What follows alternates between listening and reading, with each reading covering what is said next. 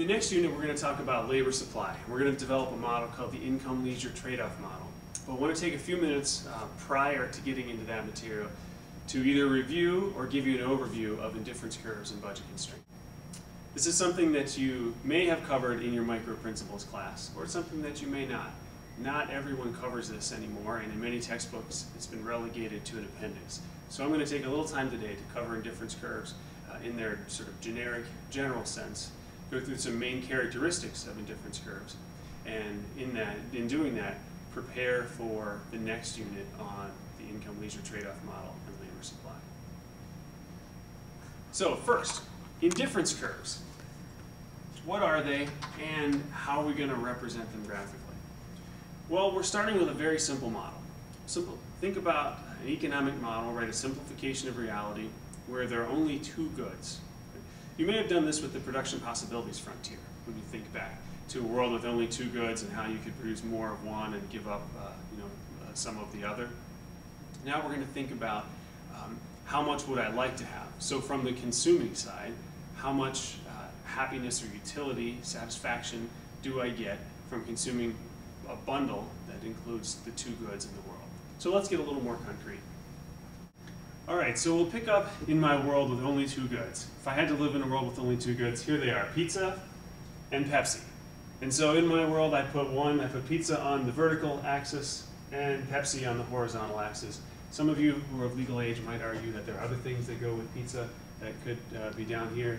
You can write whatever you want uh, in, your, uh, in your scratch paper um, as you draw this out. Now, let's suppose I start with some initial endowment of pizza and Pepsi.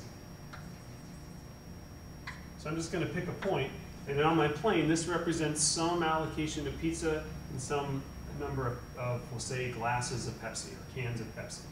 So let's suppose that this is five cans of Pepsi and seven slices of pizza. What I want to think about to draw my indifference curve or to develop my indifference curve is another allocation of points um, that I could consider with this one, and between the two I'd be indifferent. That is, I wouldn't prefer this collection over some other collection, and I wouldn't prefer the other collection over this one. Both of them would give me the same level of what we'll call utility, or happiness, or satisfaction. Um, so, to get there, let's think about what I would take in trade to, to be just as happy, to be indifferent between this one and some other, some other combination. So now there's, there's me, imagine another person. You come along, and it just so happens that you have lots of Pepsi, but you have very little pizza. And you would like to buy some of my pizza. Now, how are you going to buy my pizza? Well, we'll strike a deal and you'll have to pay me in something else.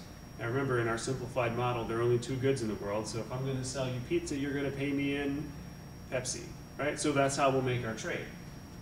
So you come along and you say, um, hey Smith, I'd like to buy a slice of your pizza. Um, would you sell me some and at what price uh, would you sell it to me? Now, I'm not, in this example, in this uh, illustration, I'm not trying to make a big profit. I'm just trying to figure out how much Pepsi would I take in exchange for one slice of pizza to be equally happy, to be indifferent between the two bundles. So if I give up a slice of pizza, that takes me down to six The question is, how much Pepsi would I require? Well, I might say I might trade one slice of pizza for roughly one Pepsi in this situation. And if this is the case, then so let's say here's six. Right, if I give up a slice of pizza and I sell it for one can of Pepsi, I'm now at 0.66 in my plane. And I'm saying between these two points, I'm indifferent. I'm just as happy. They both give me the same level of utility or satisfaction. And then you come along again and say, look, I'm still hungry. I'd like to buy some more of your pizza. You say, would you sell me another slice of pizza for a can of Pepsi? Because remember, we'll just suppose that you have lots of Pepsi. You have a big, you have a big supply of Pepsi. You want to buy my pizza. I say, well, six and six. If I traded one more, I'd only have five slices of pizza but I would gain Pepsi. How much Pepsi would I require? Maybe I'd sell for one, or maybe I'd take a little bit more than one. Um, let's go ahead and say that i I would trade for one right here. And so now I'm at five slices of pizza and seven uh, cans of Pepsi. But what if you wanted more? What if you wanted to buy another slice of pizza for me? Smith, I'd like to buy another slice of pizza. How much would you charge in Pepsi? And remember, this is not uh, to make me better off. This is just how much would I charge to be equally well off, to be just as happy. Say, well, if you want me to go down to four slices of pizza and I already have seven cans of Pepsi, I'm not going to trade one for one anymore. Remember, because the last time I was on the fence, I was like, maybe I'd want a little bit more than that. I might want one and a half or two cans of Pepsi in exchange for this slice of pizza. If you think back to micro, if you get uh, diminishing marginal utility from additional units, then the more Pepsi I have, right, the smaller the value I place on the last unit. And the fewer slices of pizza I have, the higher the value I, I place on that last or marginal unit. So if you want me to go down to four slices of pizza, I might require two cans of Pepsi in exchange. And what if you wanted to buy more? What if you wanted me to go down to three slices of pizza? I might take 10, 11, 12, I might take three cans of Pepsi in exchange. Now I have a lot of Pepsi. I have 12 cans of Pepsi. I only have three slices of pizza. And can you see how if you want me to decrease, if you want to buy even more Pepsi, I'm going to, or um, more pizza, if you want to buy more pizza for me, cause me to give up more pizza, I'm going to require even larger quantities of Pepsi in exchange. And what if we went the other direction? What if we started back at this point and started trading the other way and said, well, you came along and said, I'd like to buy some of your Pepsi. Will you sell me uh, some Pepsi? I'll pay you in pizza.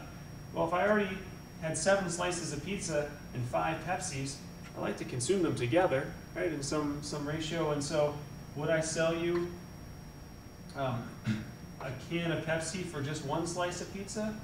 No, if you want me to give up my fifth can of Pepsi and go down to four, I might charge you two slices of pizza. Or one and a half, or something greater than one. Right? And so you can see I have the same thing up here. And if I thought about this not just with whole units, but with partial slices, half a slice of pizza, a third of a can of Pepsi, if I opened up the increments a bit, you could find other combinations in here that might make me just as happy or give me the same amount of utility uh, as this initial starting allocation. And so when I put all of these together, all of these sort of infinite combinations, pizza and Pepsi together, I get what we call an indifference curve.